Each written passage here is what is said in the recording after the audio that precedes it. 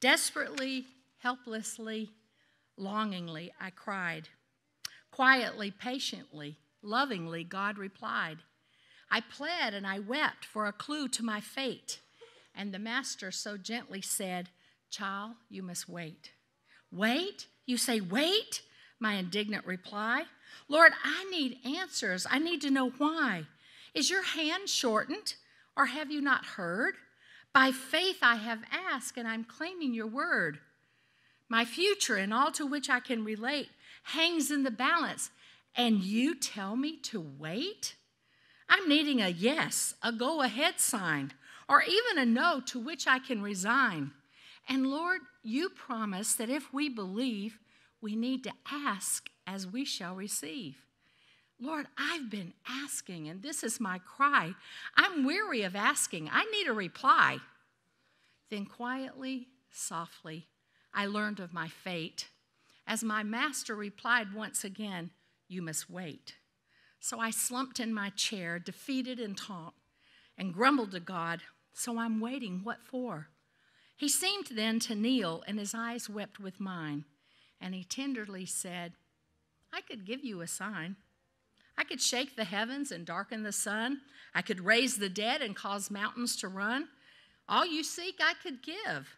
And pleased you would be. You would have what you want, but you wouldn't know me. You'd not know the depth of my love for each saint. You'd not know the power that I give to the faint. You'd not learn to see through the clouds of despair. You'd not learn to trust just by knowing I'm there. You'd not know the joy of resting in me when darkness and silence is all you could see. You'd never experience the fullness of love as the peace of my spirit descends like a dove.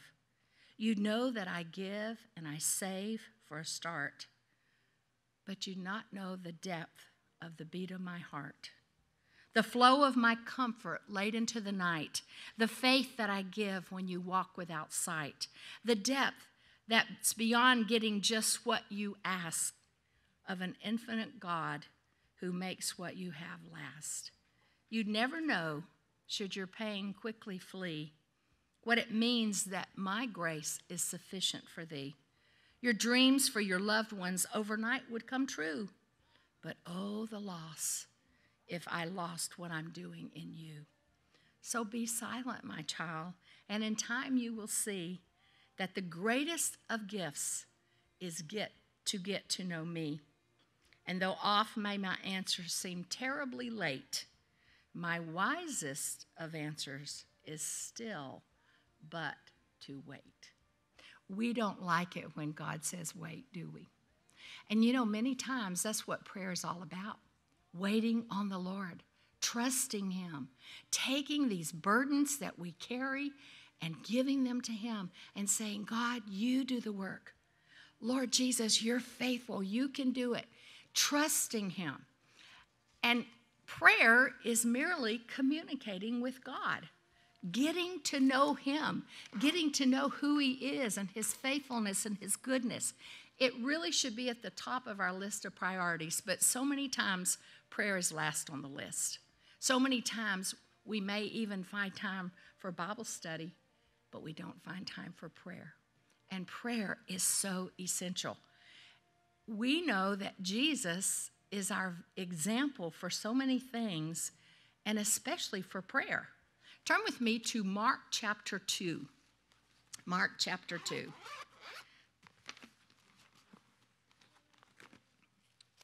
And I want, uh, excuse me, chapter one, not two, chapter one. I always say two and it's one. And I want, to, I want you to look at verse 32. And this is um, right after Jesus' ministry got started and his disciples had been called. And um, so, verse 32 At evening, when the sun had set, they brought to him all who were sick and those who were demon possessed. And the whole city was gathered together at the door. Then he healed many who were sick with various diseases and cast out many demons, and he did not allow the demons to speak because they knew him. Now, in the morning, having, having risen a long while before daylight, he went out and departed to a solitary place. and there he prayed. Now, Jesus was ministering to so many people the night before. I can't even imagine how tired he must have been. Just even ministering, it takes so much out of you. And I'm sure it says so many were gathered. The whole city was gathered at the door, and so many were healed. And yet, what did he do the next morning? He got up early before daylight and he went to that solitary place and he prayed. Now, I probably would have said, Lord, I've been so, you know, you've been using me uh, last night and I am so weary. I need rest. I just need to stay in bed a little bit longer. But that's not Jesus. He needed to know his Father's will. He needed to know his Father's directions. And so many times throughout God's Word, we see Jesus early in the morning going to pray. We see him going in secret to pray. We see him on a mountain praying. This was so essential in his life, even to teach this, the disciples how to pray. They asked him, How do we pray? And he gave the Lord's Prayer, which is like a skeleton of how to pray. Jesus rose early and went to that solitary place to pray. Now it's interesting because verse 36 says Simon and those who were with him searched for him. It's kind of like, hey, Jesus, it's happening. The ministry's finally get on, getting on, and people are here, they're waiting. They want you to come minister to them. Where are you? And it's kind of like, you know, sometimes we that are married are looking for our husbands. Where are you? I needed you. I needed you right now, and I couldn't get you. My husband hunts for me. he calls he calls the church sometimes looking for me because he wants me to make him a sandwich. But anyway. but here's Simon and those who are with him searching for Jesus. And when they found him, they said to him, Everyone is looking for you. Kind of like, Where have you been? But he, Jesus, said to them, Let us go into the next towns that I may preach there also, because for this purpose I have come forth. When he spent that time with his father in the morning in that solitary place, his father gave him directions for the day. And it's so essential that that is what we think of our first thoughts in the morning. Lord, I want to give you my day. What would you have me do today? Where would you have me go today? Who would you have me to be with today? Should I do this or should I do that? Taking that time, even before your feet hit the floor, to order your prayers to the Lord. Turn with me to Psalm 5. Psalm 5. And you'll recognize this psalm as a song we sing. You almost it's hard almost to, to read it when you want to sing it, you know. Give ear to my words, O Lord. Consider my meditation. Give heed to the voice of my cry, my King and my God. For to you I will pray. My voice you shall hear in the morning, O Lord. In the morning I will direct it to you, and I will look up. In the morning, O Lord, I will direct my prayer to you, and I'll look up. In other words, you're focusing your eyes and your heart on Him. First thing, prayer is difficult. It's something that the enemy does not want you to do. And he will do anything to keep you from it. I was just talking to someone. They said, I was doing fine. I was dressed, ready to go. And all of a sudden, I didn't feel good. And then I realized who's trying to keep me from going? the enemy. He does not want us to talk about prayer. Prayer should be at the top of our list of priorities. It is a door for God to do a glorious work. Prayer will turn back the tide of evil and enable you to do battle against the evil forces around us. Prayer is the most potent weapon that we have in our spiritual arsenal. Turn with me to Ephesians chapter 6. Ephesians 6. Because we are in a spiritual battle. Amen? Amen. Look at verse 10. Finally, brethren, be strong in the Lord and in the power of his might. Put on the whole armor of God that you may be able to stand against the wiles of the devil. And that wiles is the schemings. his uh, schemings that he has against us, very systematic schemings, schemings to keep us from praying, keep us from worshiping God. For we do not wrestle against flesh and blood, but against principalities, against powers, against the rulers of the darkness of this age, against spiritual hosts of wickedness in heavenly places. You know why it's hard to pray? Because all of this is coming against us when we pray. He does not want us to spend time in prayer because prayer is so essential for our walk with the Lord. Prayer is one of those spiritual weapons. And he goes on, he gives, take up the whole armor of God that you may be able to withstand in the evil day and having done all to stand. I can't stand in my strength, in my power, in my ability. I have to stand in the power of the Lord. And He has that power for us, but we need to partake of it. And then it goes on, of course, to give the spiritual armor, girding your waist with truth, breastplate of righteousness, your feet with the preparation of the gospel of peace. Above all, taking the shield of faith, with which you're able to quench all the fiery darts of the wicked one. Take the helmet of salvation, sword of the Spirit, which is the word of God. And then look at verse 16, 18. Praying how often? What does it say? Always.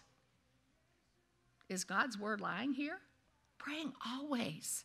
With all prayer and supplication in the Spirit, being watchful to this end with all perseverance and supplication for all the saints. Chuck Smith said, Prayer is the most potent weapon that we possess in our spiritual arsenal, and by it, strongholds of the enemy can be pulled down. But most importantly of all, prayer is communicating with God. That's how we get to know Him. Aren't you thankful that we have one God and one mediator between God and man, Jesus, and that we can go right to Him? Turn with me to Hebrews chapter 4. Hebrews 4. And look at um, Verse 14. Seeing then that we have a great high priest, Jesus, who has passed through the heavens, Jesus, the Son of God, let us hold fast our confession. For we do not have a high priest who can, cannot sympathize with our weaknesses, but one who was in all points tempted as we are, yet without sin. Jesus, of course, was God in the flesh, but he chose to be human with all the things that we experience, all the things we go through, the temptations, the trials, the weariness, all those things. And what was his answer for all of that? Prayer. He would spend time with his Father in prayer. Let us therefore, because we have him as our high priest, because we have him as our mediator between God and man, that's why we pray in Jesus' name. Because it's only because of Jesus' sacrifice on the cross that I can enter the Holy of Holies and go right to the throne room of God. Isn't that awesome? What a privilege we have. What a privilege we so many times don't take advantage of. He says, Let us therefore come boldly to the throne of what? Grace. That's the only way we can come to the throne is by the grace of God. Come to through the, to the throne of grace that we may obtain mercy and find grace to help in time of need. How many of you need mercy? Woo! How many of you need grace?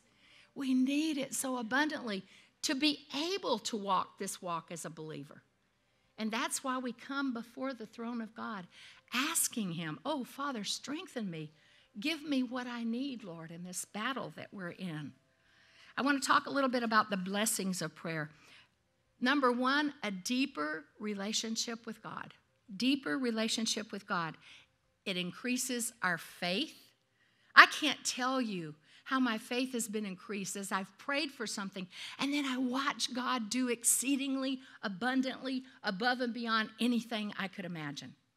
Uh, my daughter was coming back from Belgium, and they were um, needing funds to get their uh, the few things they were going to bring back.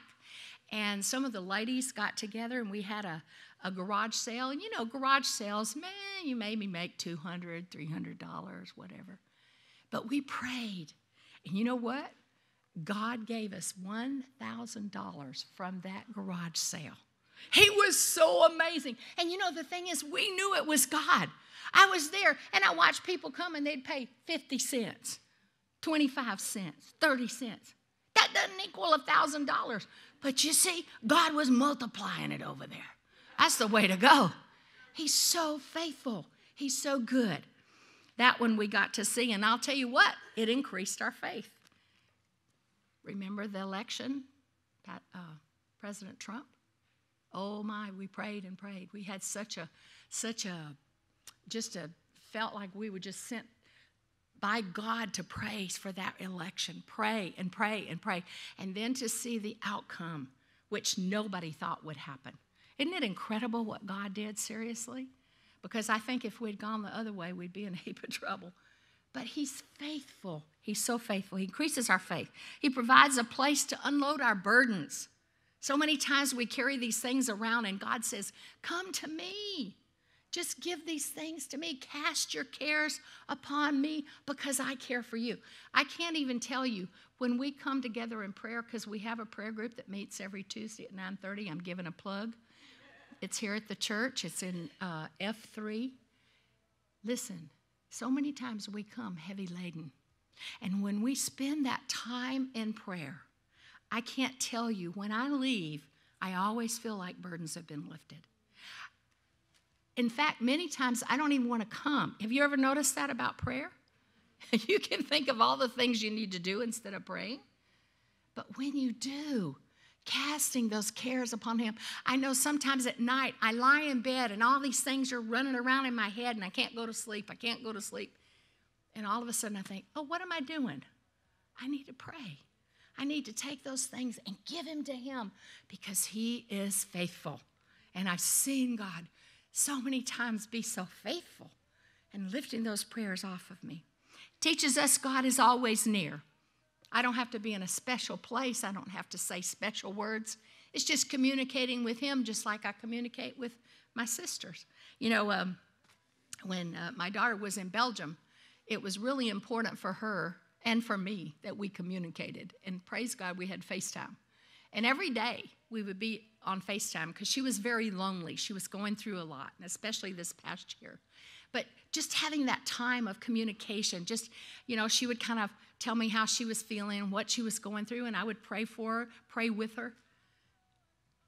Think about our God. Having that time of communication with Him. It's like having FaceTime, but the cool thing is when I call Him, there's no nobody saying he's not available. He's always there. You don't get, uh, I can't talk right now. He's always there, and I can call on him anytime, any place. He's always near. It also trains us not to panic. Because you know, when situations first come our way, our first response is panic and fear but when we think, oh, the first thing I want to do, I have a little sign out there that says, pray first. Pray first. Go to Him first. Because listen, the truth of the matter is, He's the only one that can deal with the situation. I can cry out to Him anytime, any place. He changes lives and attitudes. He can change your attitude, He can change the attitude of others. I remember when my one daughter was walking away from the Lord. Oh my, I learned early on my words weren't going to change her one bit. It was like, she didn't want to hear it.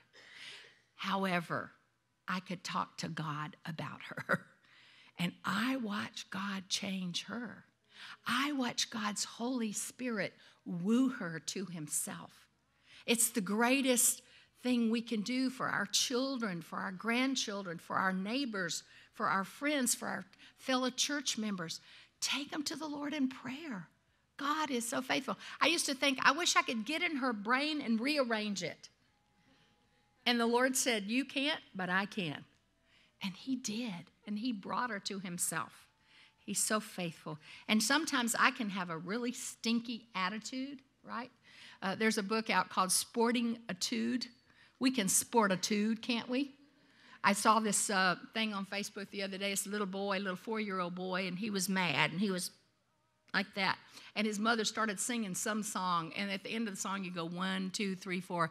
And he was like this, and he goes one, two, three, four. You know what? When we go to the Lord in prayer, He can do that for us. One, two, three. Ah, oh, Lord. Okay, I'm back on track. He's so faithful. I think my husband wishes I'd pray more, you know, because I can have an attitude.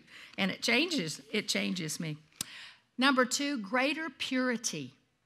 The awesome thing about prayer is that's when I can go to God. It says 1 John 1 9, if we confess our sins, He is faithful and just to forgive us and cleanse us from all unrighteousness. James 5 16 says this Confess your trespasses to one another and pray for one another that you may be healed. Now, I can confess things to you but you can't heal me. God can. And that's why it says not just the confession part, but the prayer part. Pray for one another that you may be healed. And then it says the effective, fervent prayer of a righteous man avails much. We're only righteous because of the righteousness of Jesus. Amen? It's because we've asked Jesus into our hearts. He's our Savior, and He gives his righteousness to us. So we can all claim that we're a righteous man in this. The effective, fervent prayer of a righteous man avails much. That's God's word promising that. But the problem is we don't go to him in prayer, and therefore we don't see the action that God wants to do. Number three, confidence in making decisions. Um, Isaiah 30, 19 and 21 says this it promises that God will be gracious to us at the sound of our cry. When he hears it, he will answer you. Your ears shall hear a word behind you saying, This is the way, walk in it. Whenever you turn to the right hand or whenever you turn to the left. He wants us to cry out to him, he wants to give us direction. He knows what his will is for us. And I love to go to the Lord and say, God, is this what you would have me do? Father, I'm going to start moving in this direction, and if you don't want me to go this way, please stop me. And He will. That's the coolest part. God is faithful. He knows where He wants you to go and what He wants you to do. You can have confidence in making decisions as you seek Him. Matthew 7 7 and 11. 7 says, Ask, and it will be given to you. Seek, and you will find. Knock, and it will be open to you. And then verse 11 says, If you, being evil, know how to give good gifts to your children, how much more will your Father who is in heaven give good things to those who ask him? Listen, God loves you. He's saying, Ask, and you will receive. Seek, and you will find. That's what he desires us to do. Number four, improved relationships. When we're praying for people, we can't hate them. Prayer changes us as far as that goes. In Matthew 4 40, I mean 543, it says this. But I say to you, love your enemies, bless those who curse you, do good to those who hate you, and pray for those who spitefully use you and persecute you. That's the most awesome thing. When my daughter was killed, this verse became very, very real to my husband because he hated that man. He wanted that man dead. And he read this verse and he said, No, I must bless him, I must do good to him, and I have to pray for him. And I'll tell you what, God then enabled my husband to forgive that man. God doesn't want us to withhold that unforgiveness. As we pray for others, especially those that we're having a hard time with, you know, God puts people in your path many times that are difficult. But why? Maybe He wants you to pray more. He wants to do a work. He wants to show you his faithfulness. And you know what? God can God can change us. I remember one time I hurt a lady. I did something wrong. And I, it was real humbling to go back and say, I'm sorry. And I did. I went to her and I said, I am so sorry. I was wrong in what I said or did. I can't even remember now. It's so long ago. And then I said, Will you forgive me? And she said, No. I wasn't expecting that. But you know what? I had to say, Lord, I give it to you. I can't change her feelings, I can't change her mind, but I give it to you. I don't want to have a bad relationship here. I want to, I want to have that between us, that forgiveness. And I said, Lord, I did what you told me to do. I have to trust you with the rest. Well, a few days later, she came back to me and she said, I'm sorry. I was wrong. That was kind of cool. she had to tell me she was sorry. It was good. Anyway, but you see, God, God knows what He's doing. Sometimes He'll put a difficult person in your life if you're working or uh, whatever. I'll never forget, we had a, a lady in our church in South Louisiana, an older lady, and she was a difficult person. She just kind of rubbed everybody the wrong way. And I'll admit, some of them were praying she'd leave the church. that wasn't the answer. But you know what? As we prayed for her, God began giving us love for her. And that's what she needed. She just needed love. It's just an amazing thing how God can change you as you're praying for that difficult person in your life. Number five, prayer brings contentment. Somebody said this if he doesn't meet it, you didn't need it. And that's true. Am I going to be content with what's going on in my life? Be content with where he has me. And that's a hard thing to do. Many times when I'm discontented, prayer is the only answer for me to go to the Lord and, oh God, give me your contentment, that I'll be content with the, th- the way things are. Um, my life in, our, in my marriage, we had a very difficult marriage, and there was a time when I had no love for my husband at all. And I said, I had to pray consistently Father, you do the work. I can't change him, he can't change me. You do the work. Well, let me tell you what, God did an amazing work. He showed me me. He showed things in my life that I needed to take to Him and get Him to work on. He showed things in my husband's life. I, I could tell him all day long, but God showed him. And when God showed him, God did an amazing work in his heart. Both of us, both of us coming to the ends of ourselves. That's what God did as we prayed. And God was faithful to restore what the cankerworm had destroyed. He was faithful to bring that marriage back together. Prayer is a ministry with the power to change lives, to change my life, to change the life of others. Prayer keeps us from disobedience and temptations. Um, one of the parts of the Lord's Prayer is lead us not into temptation, but deliver us from evil. Have you ever prayed that for yourself? uh, last spring, I got on a diet, and I it was it was the keto, you know, where you don't eat bread, and I I craved bread. I mean, bread was in my dreams, you know. I want that bread. I want that. And I'll tell you what, when that craving would come, I just have to say, Oh Lord, lead me not to temptation, deliver me from evil. I prayed that so much, and God was faithful. I just should have kept it up in the summer, but anyway. But he is. He's faithful. He, he wants us to, to pray about these temptations. Prayer can open doors for the word to speak the mystery of Christ. Colossians 4, verse 3. I would have us look all these up, but we have such a short time. I just want to read it to you. Pray for us, Paul's writing this. Pray for us that God would open to us a door for the word to speak the mystery of Christ. There are three types of prayer. I want you to turn with me to 1 Timothy. We just finished 1 Timothy, but I want you to turn there to chapter 2. 1 Timothy, chapter 2. And you'll remember this when we read it, verse 1. Therefore, I exhort, first of all, that supplications, prayers, intercessions, and giving of thanks be made for all men Paul is exhorting Timothy supplications, prayers, intercessions, and giving of thanks be made for all men.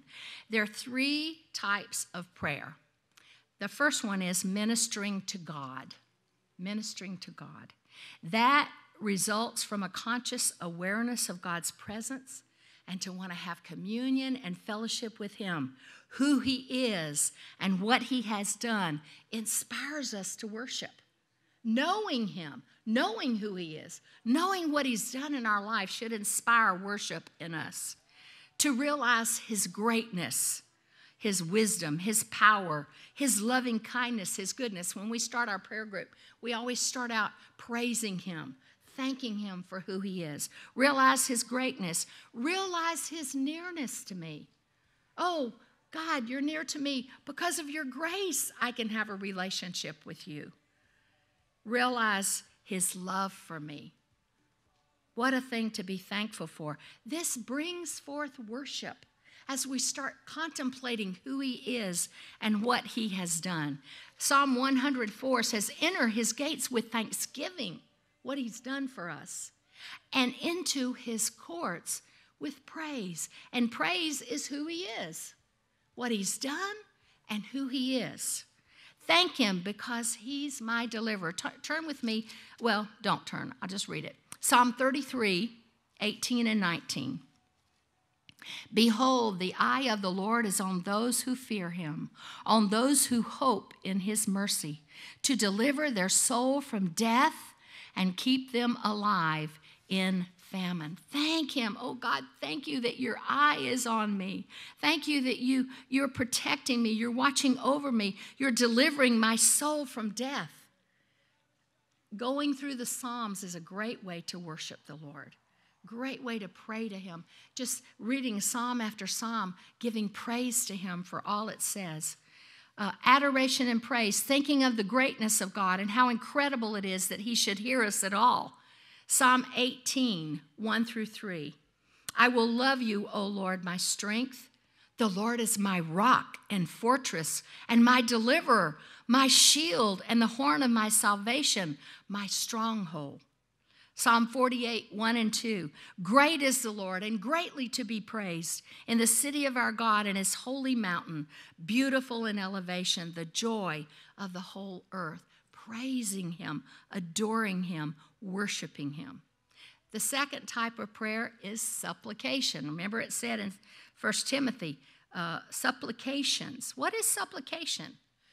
Supplication, of course, petitions, asking God for something.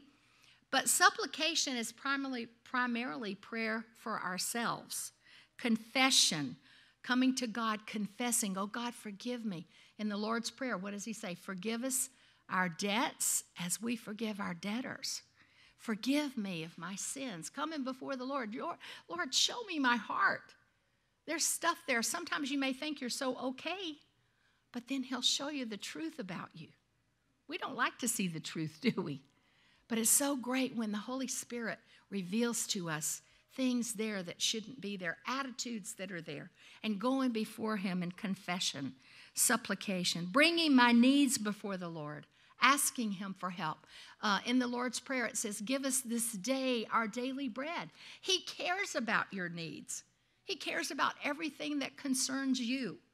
And He's there for you to cry out to him oh lord jesus i'll never forget when we were moving to california we i was look i mean uh, colorado from california and i was thinking of the cold and i had a prayer journal in fact i've got that old prayer journal right here I got so many prayer journals.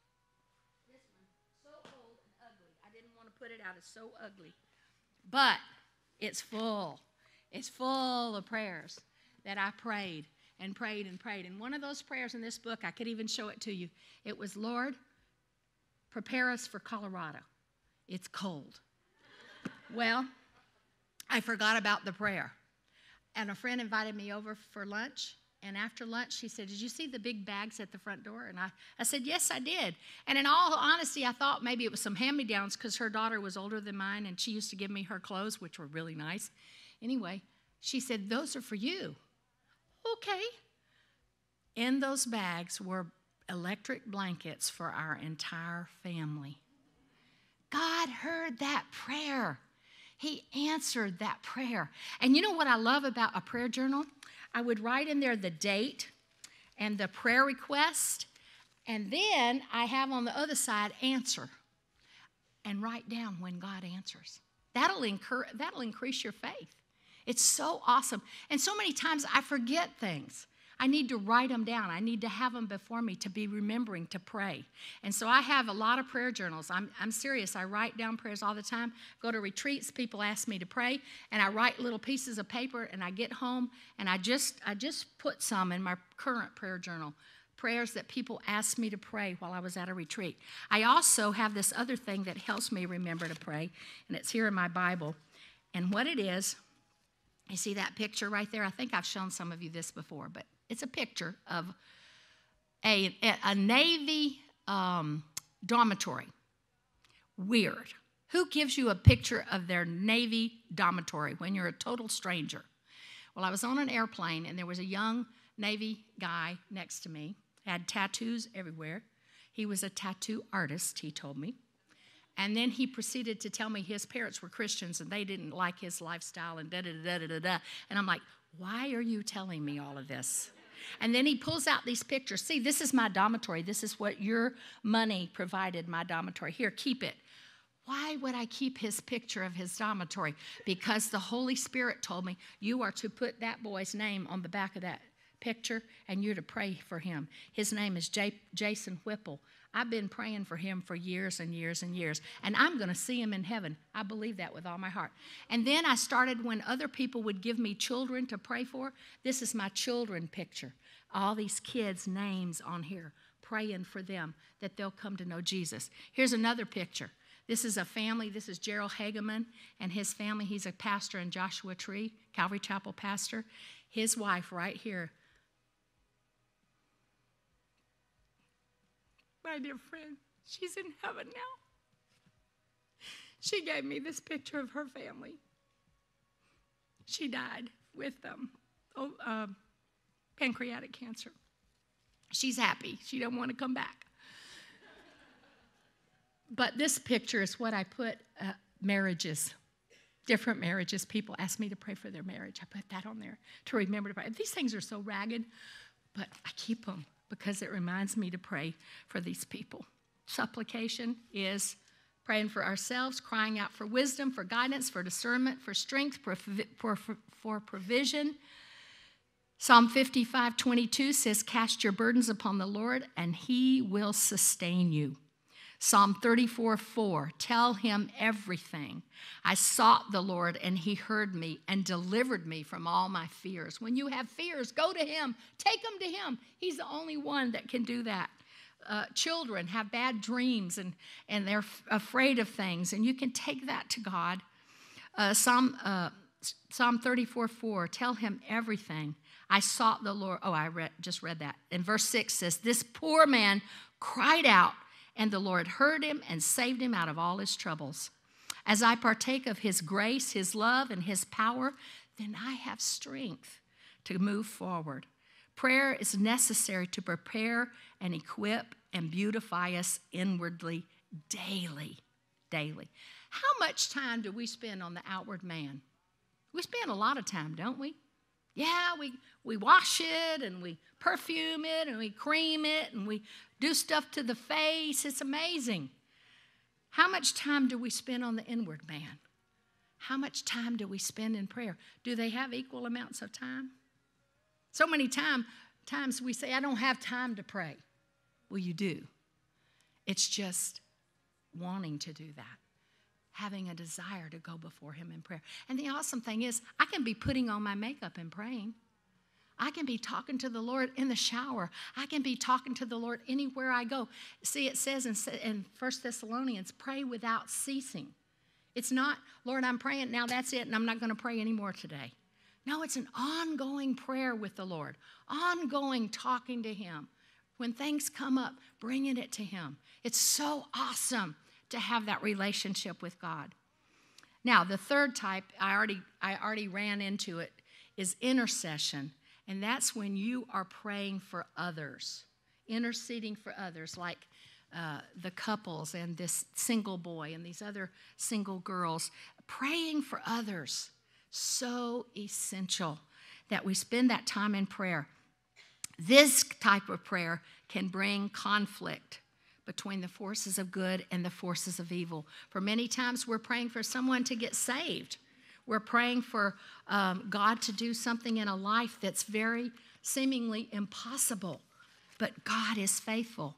We can go to battle for family, for friends, for neighbors, for coworkers, for the body of Christ, for the unsaved. Paul continually prayed. I'm going to give you three times that Paul prayed for people in the church. Uh, Ephesians 2 15 through 21. These are prayers to study and memorize. Ephesians 2 15 through 21. Colossians 1 9 through 14, Colossians 1 9 through 14, 1 Corinthians 1 4 through 9. 1 Corinthians 1 4 through 9. I love these prayers. They I just can't even tell you how awesome it is to pray for people in this way. And this is what Paul prayed. He prayed for the Ephesians, for the Colossians, for the Corinthians. These are prayers that he prayed. Verse uh, Colossians 4:12 says, "Laboring fervently for you in prayer." When we enter intercessory prayer, we step right into the battle and we, we begin to fight against Satan's strongholds. Look at 2 Corinthians chapter 10. Satan has strongholds in all of our lives. 2 Corinthians chapter 10 verse 3 says for though we walk in the flesh we do not war according to the flesh. We saw that in Ephesians 6. For the weapons of our warfare are not carnal, but guess what? They're mighty in God. Hallelujah for pulling down strongholds. These are areas the enemy has found a place that he can lodge. We have strongholds in our lives, others have strongholds in their lives. And God can take them down. He can do it, He's able. But we need to bring them before the Lord. And then it says, casting down arguments and every high thing that exalts itself against the knowledge of God, bringing every thought into captivity to the obedience of Christ and being ready to punish all disobedience when your obedience is fulfilled. Bringing those thoughts captive. Is this thought from God? Is this thought from the enemy? Is this thought from the world? Is this thought from my flesh? And as we get to know Him, we can discern which ones are from where. And is this a thought that God would not have me think? Is this a thought that my daughter has been believing that's a lie from the pit. Oh, Jesus, I bring her before you. You know that daughter I mentioned that walked away from the Lord? You know how she came back? She was at UCLA and she was so rebellious at that time. She said, I'm going to take all those liberal courses. She took all the feminist courses. And she was sitting in class and the Holy Spirit started working. Woo-hoo sic the spirit on them. That's the best thing. And he started talking to her, and she started saying, What they're saying is a lie. That's not true because she was raised, she knows the Word of God. It started welling up within her. This is not true. And she went and bought a Bible. Woo! That's what you want them all to do. Go buy a Bible. And the Holy Spirit started speaking to her, and she started witnessing to everybody. She started standing up in class. They didn't like that. You know, God can do it. Even in the worst situations, God can do it. He is faithful. There was a man, it's, what, it's my favorite book. It's not out there on the table. I put those books out there for you to just kind of glance at, and maybe one you might want to buy yourself. I don't have enough to give out, but just some ideas about books on prayer. My favorite book I can't find. I think I lent it to somebody, and I'm going to get another one. It's called Rees Howell, R E E S Howell, H O W E L L Intercessor. It's my favorite book. And Rees Howell was an intercessor during World War II. He had a school of prayer. And they were praying, not knowing what was going on. And at that very time, the Battle of Dunkirk was taking place. The British soldiers were all on the shore. The Germans were all up here ready to come down and kill them. They were going to fire on them. And at the same time, Rees School of Minister or Prayer were praying. They were praying, they were interceding for the country. Nobody gave the command for them to go and attack these soldiers. And fishermen brought their little tiny boats over and were able to clear out all those soldiers from that shore, and they were not killed by the enemy. That was a God thing. Rees didn't know what was going on. He didn't know what God was doing. But listen, his prayer, God was giving him wisdom to pray, and God was interceding for the country of England. Had the Germans entered into England, it would have been all over. God did a mighty thing through prayer. Truth, Satan's already defeated. Jesus has triumphed over Satan. Thus, Satan must yield when we come to him in the power and authority of Jesus. Jude 9. You know, Jude doesn't have chapters, just verse 9. Michael the archangel, in contending with the devil, dared not bring against him a reviling accusation, but said, The Lord rebuke you. I'm not rebuking Satan. The Lord rebuke you, Satan, as you come against this and that and the other. Pray specifically. Satan will be persistent, wanting us to get discouraged and to quit praying. If answers don't come immediately, don't give up. Luke 18:1, he said, Men ought always to pray and not faint. Hallelujah. Keep on keeping on. Keep praying. Uh, look at James 1. We're gonna, I'm going to hurry. James 1, verses 5 through 8. I, can, I need about two days to, to really cover this uh, because it's just, there's just so much there. But listen to this James 1, uh, verse 4. Let patience have, oh no, excuse me, verse 5. If any of you lacks wisdom, let him ask of God, who gives to all liberally and without reproach. In other words, God's not going to say, hey, honey, your prayer request time is up. You've asked enough. I'm not going to do that for you. No, without reproach. He's not going to say, Well, you haven't been praying recently. Why should I answer you now? Uh uh-uh. uh You can come, Lord, forgive me. I've been prayerless. But oh, Jesus, I need wisdom right now. Just come before Him. Don't let anything in your life hinder you from coming to Him. Just come. Forgive me, Lord. I want to move forward. That's another trick of the enemy. When you've done something wrong, you don't want to go before God. Oh, I can't ask God about that. I, am such a sinner. Well, it's true, you are. But just go to the Lord. Satan's the one keeping you back. So he says, Come. He's not without doubt, uh, excuse me. Let him ask of God who lives liberally without reproach, and it will be given to him. But let him ask in faith with no doubting. For he who doubts is like a wave of the sea driven and tossed by the wind. For let not that man suppose he will receive anything from the Lord. He is a double minded man, unstable in all his ways. We can go before the Lord.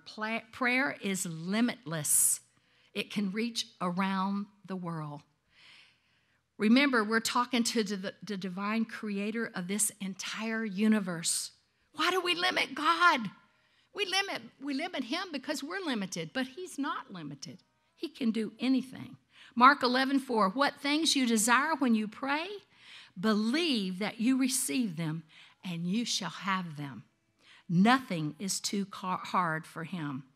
God is our source of strength. Prayer is the means through which he gives us strength. John 16, 24, we mentioned already ask and you shall receive that your joy may be full. And, and last, God commands us to pray. Pray without ceasing. 1 Thessalonians 5 17. Sometimes sin will keep us from prayer. Sometimes self condemnation. And you know, Romans 8 1, there is therefore now no condemnation for those who are in Christ Jesus. And you know what that means? For those who are born again. It, it doesn't have that last part that says, who walk not after the flesh, but after the Spirit. Walking after the Spirit means born again. There's no condemnation for us as believers. Uh, unworthiness, sometimes we feel unworthy. Well, read Ephesians 1. It tells you your, your position in Christ. You don't have worthiness, but He's the worthy one that we have accepted as our Savior. Uh, sometimes we don't want to go, no, go to God when we're upset, but that's when we really need to go to God. He's our refuge and strength, a very present help in time of trouble. It says that in uh, 46 1, Psalm 46 1. Many times the hindrance to prayer is laziness. Laziness. We must do it. Or idol worship. Now, sometimes, uh, you know, we read in the Word about the idols that they made of wood and stone. Well, we have idols too, don't we? Our social media, our TV, our, uh, our maybe our crafts, our who knows what it is. But when we're play, too busy playing with our idols, then we don't have time to pray. Sometimes you feel hopeless, you've given up, you haven't seen answers and, and you don't want to pray anymore. And then, and then it says uh, in um, Hebrews 6 so after he patiently endured, he obtained the promise. Hang in there with prayer. Unbelief, you don't know God's love and care for you and others, and that sometimes causes us not to believe, not to trust. Dryness in prayer. Pray anyway by an act of your will, not by feelings. We compare, compare this to an earthly marriage. We stay committed because God's word says we're to be, and sometimes we don't feel like being committed, right? But we still do it. And that's the thing. You may say, I don't feel like praying. It's okay. Do it anyway. Do it anyway. He'll change you. And lastly, sorrow that has become depression. Sometimes when things get so bad, we don't want to pray. We just, we just want to go to sleep, kind of like the disciples when Jesus was praying in the Garden of Gethsemane what were they doing? They were sleeping. It was just too much. And I, but I love Psalm 34 18. The Lord is near to the brokenhearted and saves those who are crushed in spirit. Um, there's some handouts out there. One is just verses on different things you're praying for on salvation, backsliders, His will, husband and wife, marriage, divorce, pastors, employment, singles, all those verses there that you can pray. Pray that scripture over that person. Uh, another thing that I gave is by this lady, an older lady. Um, she gave just some hints on setting up your prayer time. I can't find it right now, but it's there. Yeah, they have it. Okay, good. Uh, one last thing. There was a man, and let me find his thing here. He was in the 1850s, he was alive, and he had a burden for prayer. And so he rented this little place and he kind of let the word get out that he was going to have a prayer time at noon. Well, three people showed up. And he said, Well, the Lord said, if, if two or three are gathered in my name, I'm in the midst of them. So he prayed. Well, the next week, 40 people showed up. And that was very encouraging to him. I got to find that paper. Where's my paper? Da, da, da. I have too many things in my hand up here. Uh, come on, Jeremy, where are you? Well, I don't know. Jeremy left. I don't know where he went. Let's see, one more look. Mm, mm, mm. Well, I don't know what happened to him. But anyway, it started a revival. And long story short, department stores in New York started shutting their doors at noon so people could come pray. The stock market went bonkers, the banks started closing, all these things started happening, and people started desiring to pray. And they started coming together in prayer, and revival spread across the land. Hey, one person, one person. Prayer is effective. God can do it. Okay, Miss Brenda, come on.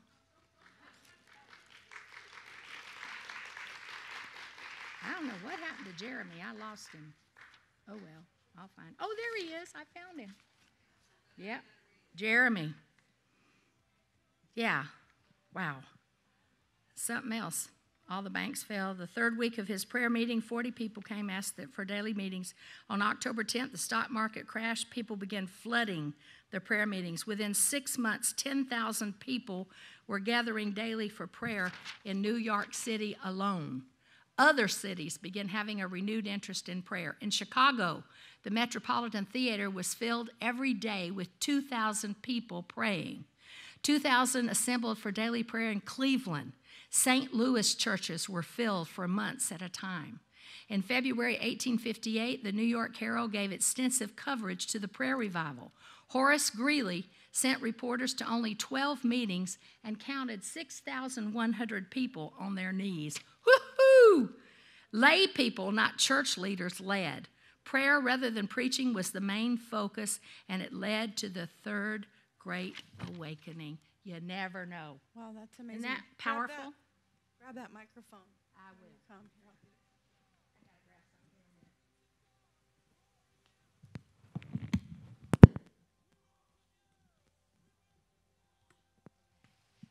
Groanings of the Spirit. Okay. I forgot to mention, Jesus is praying for you. He's at the right hand of the Father interceding for you.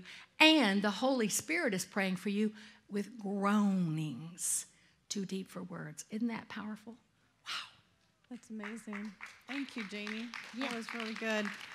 It it kind of reminded me where you finished there.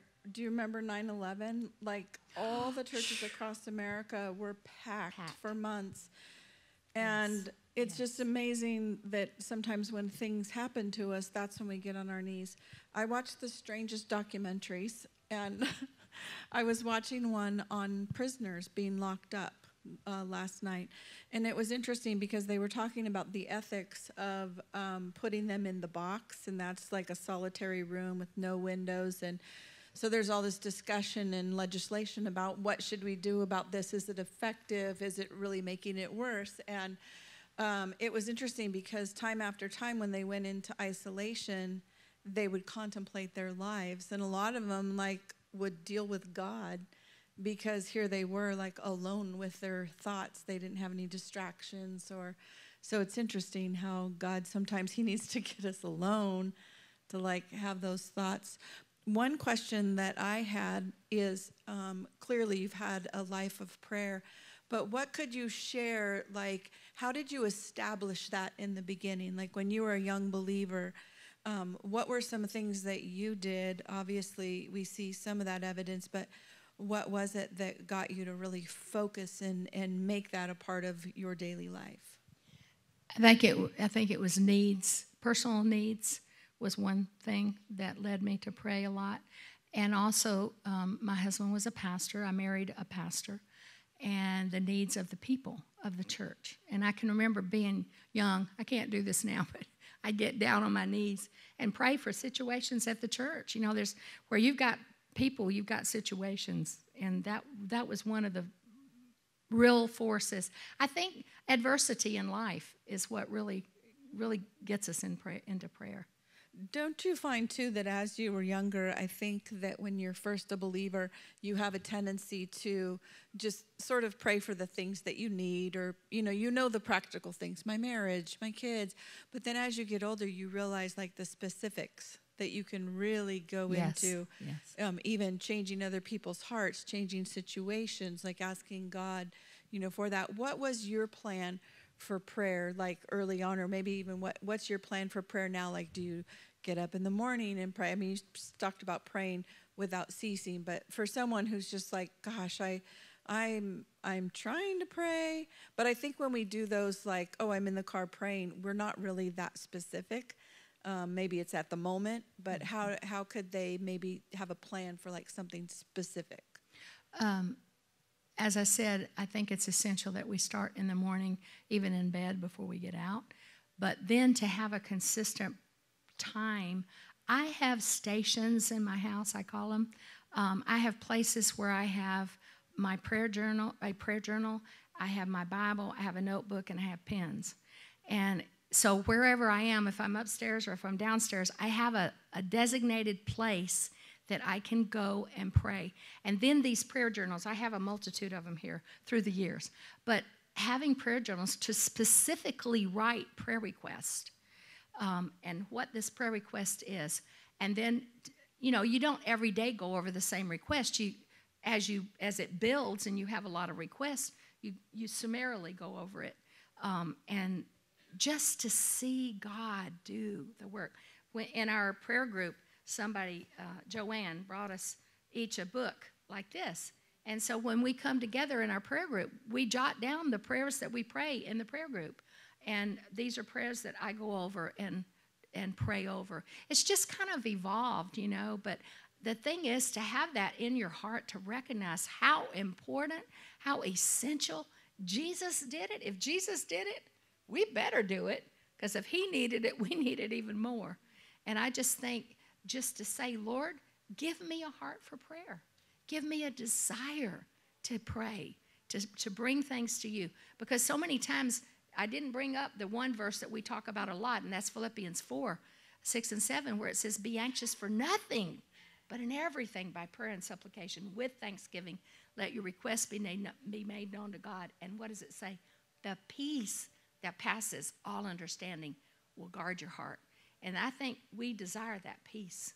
Prayer is the, the kind of the road to peace. It really is. And I think sometimes we think about prayer for our daily needs, and, and that is obviously true. But think about it from the standpoint of eternity. And we know that for the lost, the, there's eternity in the balance. But then I think about just the rewards that we'll gain in heaven. I was just reading about, you know, the crown of righteousness and the crown of life. And the crown of life is given to those who resist temptation. Well, how are you going to resist temptation? Through prayer. prayer. You know, so there's an eternal value, um, an amazing eternal Well, and value. God gathers those prayers in heaven. That's amazing. God gathers those prayers in heaven, and every once in a while, He'll let the prayers out. It's the incense. It's like, you know, remember when right before the Holy of Holies, they had the altar of incense? It's, it's like a fragrance to God when we pray. It blesses Him when we pray. It's so essential. I remember when the kids were young, we made a, a, it was a thing back in when I was younger in the 80s, 90s that you prayed for your kids' spouses. Um, mm, yeah. Obviously, that's a good plan. Um, so from very young, when our kids were born, we just prayed like, Lord, you know. So then when someone would show up, we would know like, you're not the one I prayed for. like we were able to say like so then we would work on praying them out. And we had Ted and I we had this thing that like we would count how many days like we would you know we would specifically like Lord we know that's not the guy we've been praying for and we would just pray him out. And the the fastest one was 13 days. And our our daughter came in and you know she's sobbing. He broke up with me and Ted's behind her back like, "Yes." like finally Thankful. that one's gone but just specific prayers for your children, character issues that maybe you're dealing with your kids with, praying through those, you know, things in our marriage, deep things in our marriage. One of the things before we go to questions that I wanted to ask you is what do you say to someone when God says no to something that they really want? Maybe a, a pregnancy or maybe, you know, a marriage or, you know what I'm saying? Like, how do you, how do you stuff. deal with that, the hard stuff? Well, I think that's where it's so important to know God in His Word also, because as we know Him, we know He knows what's best for us. His ways are not our ways. His thoughts are not our thoughts, and it's hard. It's difficult, and He understands that. What did it, what did we say? Read in Hebrews. It says He um, empathizes with our weaknesses, and it's hard. That's one of our weaknesses. It's hard to accept no. And yet to know and realize and have faith that God knows best. We don't understand why He might say no, but He knows best and He wants the best for us and have that belief. You were talking about praying for your children, and I did. I started praying for all my children when they were born for their spouses. And my one son in law got saved. Um, uh, he had been he was an adult or he was in college when he got saved and when he asked my daughter's hand in marriage I said, You know what, Wayne? We've prayed for you since before she was born. And he started crying. He said, I didn't know the Lord to pray for her. And I said, That's okay because I prayed enough for both of you. so it does. And I'm thankful for my son in laws. Well, Gloria has a microphone down here, and so we just wanted to take some time to be able to just have a discussion and, and so ask some questions. And because we'll, I'm sure if you're thinking it, then 10 other people are wanting that question too. So if you have a question, just raise your hand or stand up and she'll grab a mic for you.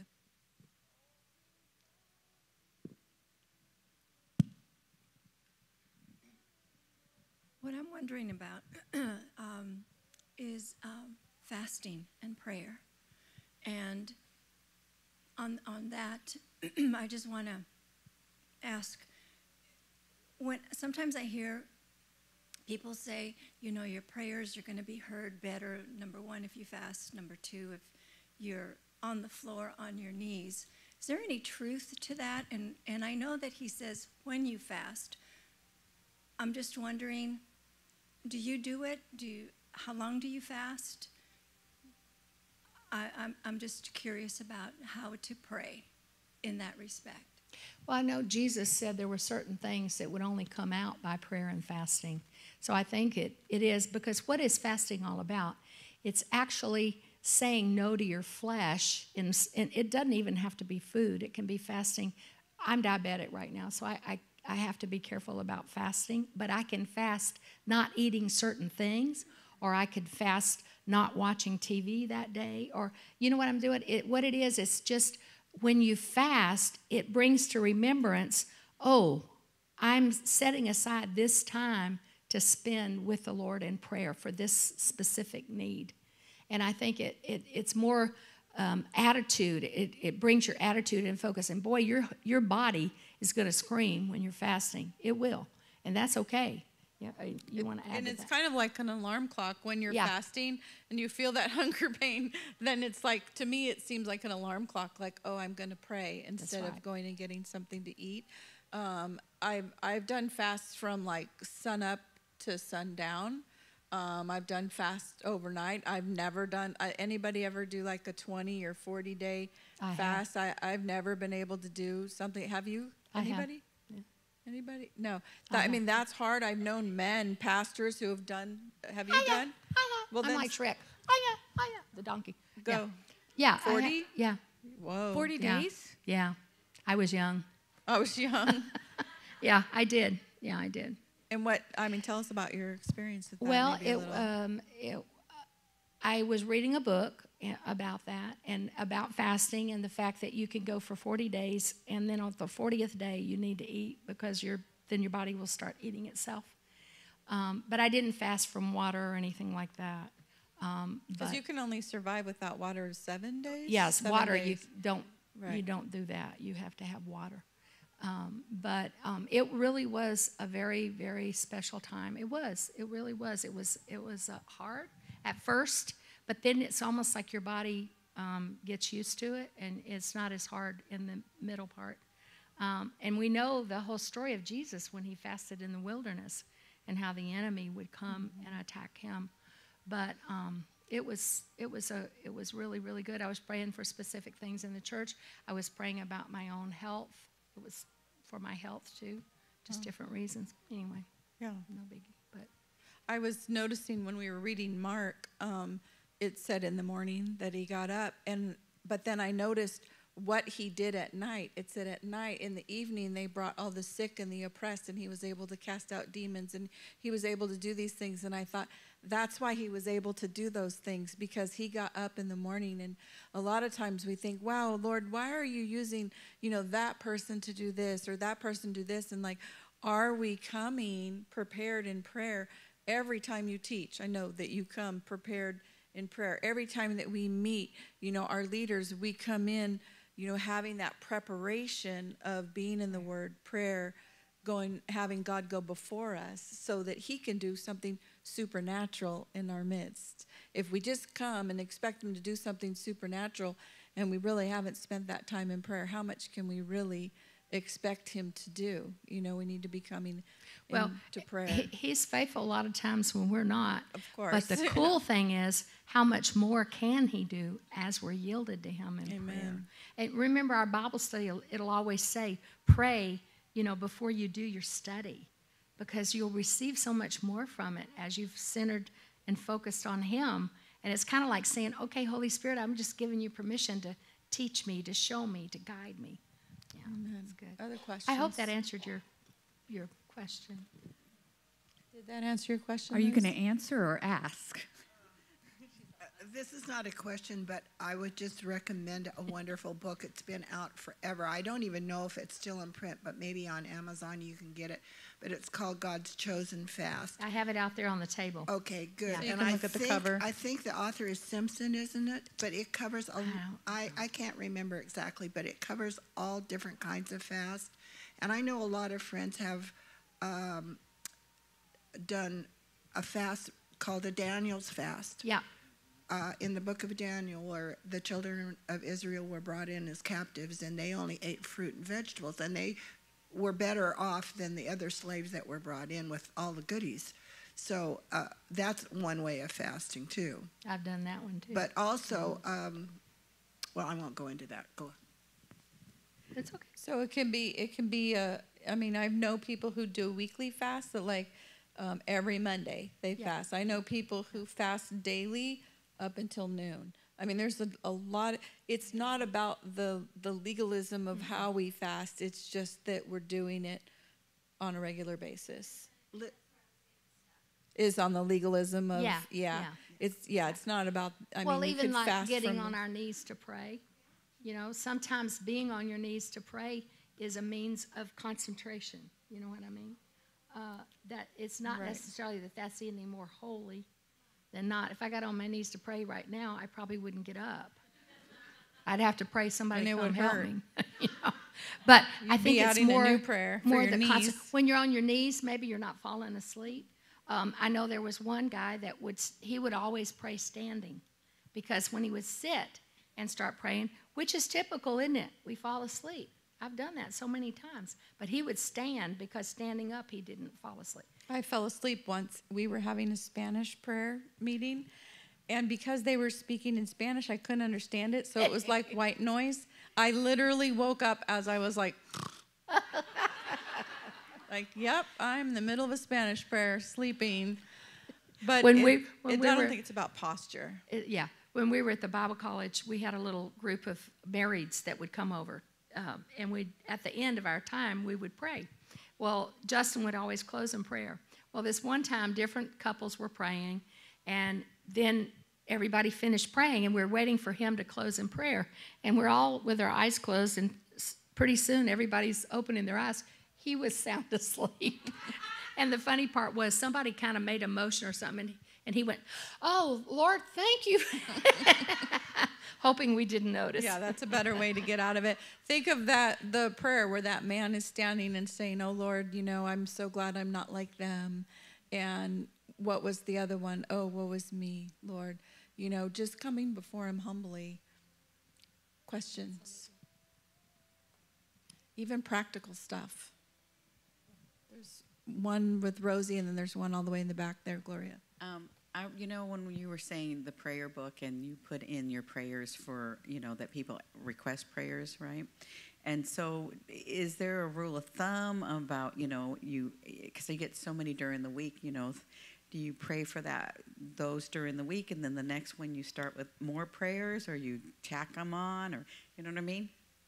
I'm not sure if that's a. Yeah, you, you can get a pretty big list that way. Yeah. Um, when we have our prayer group on Tuesdays, we get a list from the church, and we pray for those that Tuesday. The next Tuesday, we pray for the new list. But sometimes they're lingering things.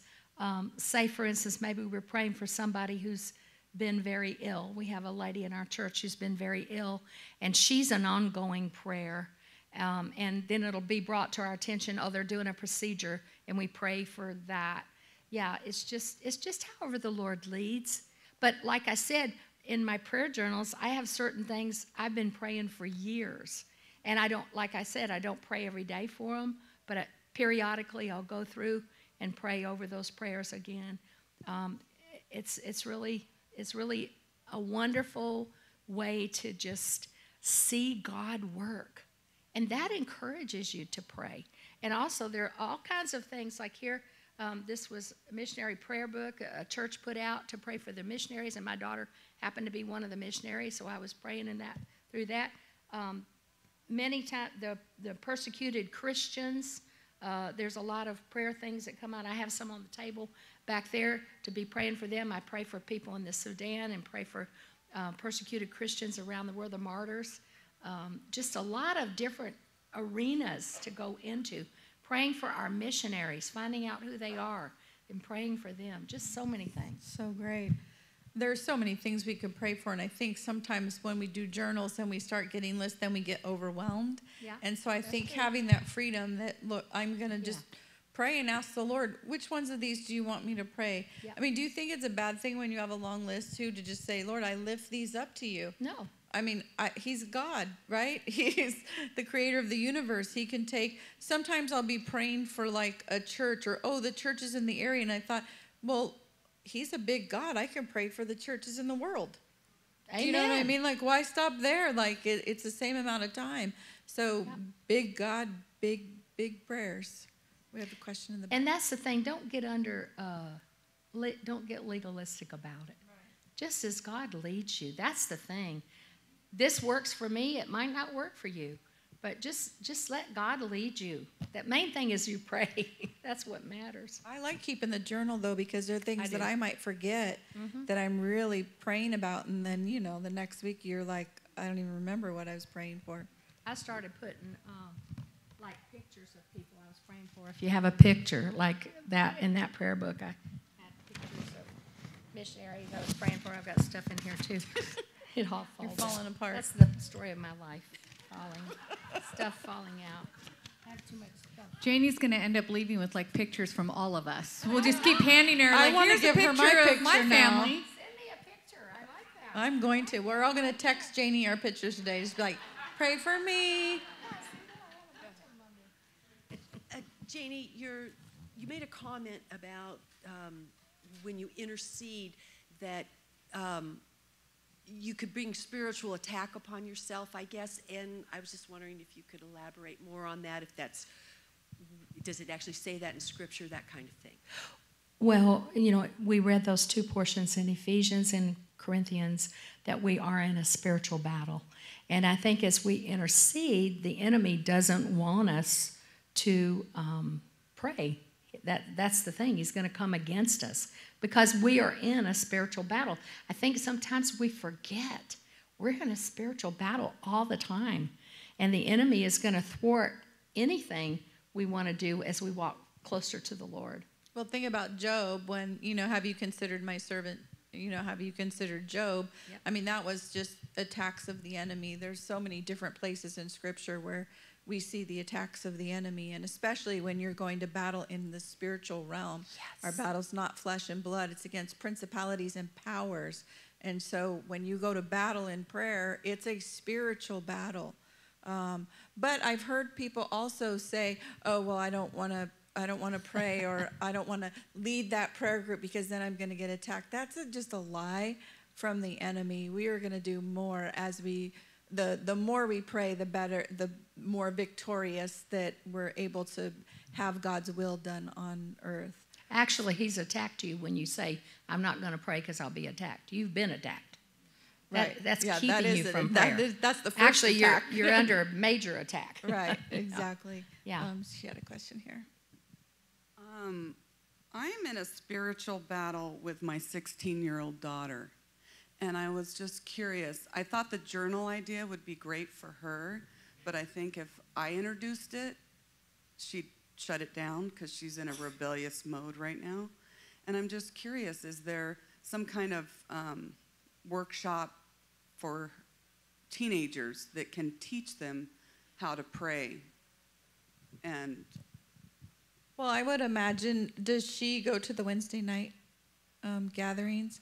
So our junior high and high school, they gather um, on Wednesday nights, and then high schoolers come in here um, into the sanctuary on Sundays.